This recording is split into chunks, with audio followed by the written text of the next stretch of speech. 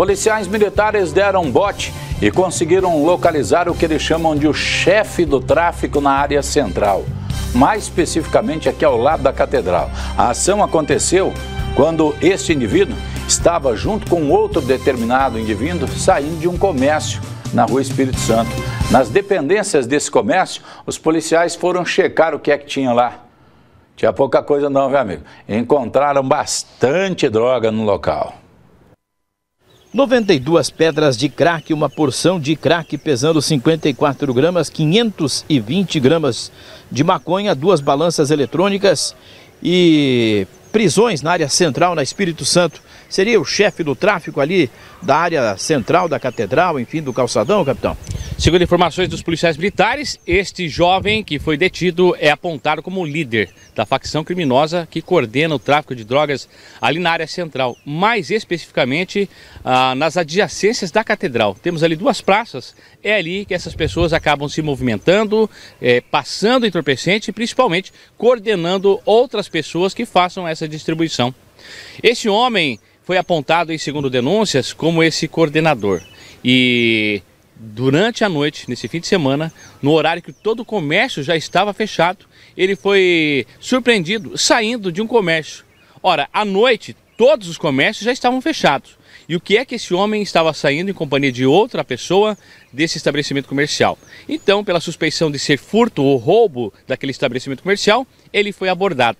E já na abordagem, um desses homens jogou um kitzinho no chão. Foram revistados e após ser checado esse kit, tinha ali porções de crack.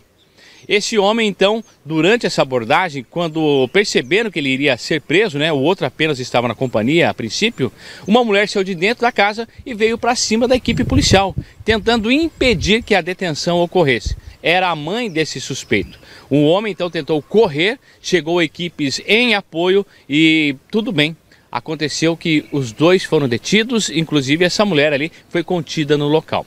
Segundo informações que foram chegando, né? Porque ali tem prédios, ali tem outras casas e quando ocorre a movimentação da polícia, todo mundo fica de olho.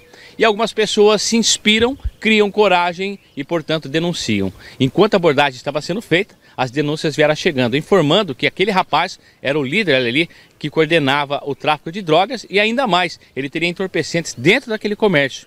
Então as buscas foram realizadas no quarto desse rapaz e mais substâncias entorpecentes foram encontradas crack e maconha e ainda duas balanças de precisão.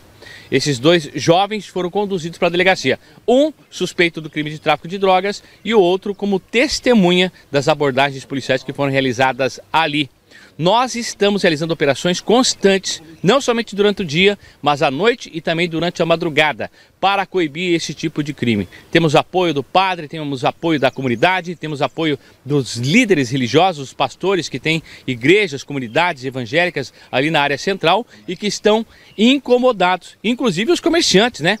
Com esse tráfico que estava acontecendo ali. É um trabalho de formiguinha. Retira um usuário, retira o traficante e com isso nós estamos limpando limpando o centro das drogas. É isso que eu estou dizendo. Estamos limpando o centro das drogas. As pessoas que estão envolvidas com esse tipo de crime, seja com o uso ou porte de entorpecente e até mesmo o tráfico, estão sendo retiradas de circulação. O apoio da população sempre é muito importante, apoiando as nossas ações policiais e principalmente denunciando, trazendo informações para a Polícia Militar.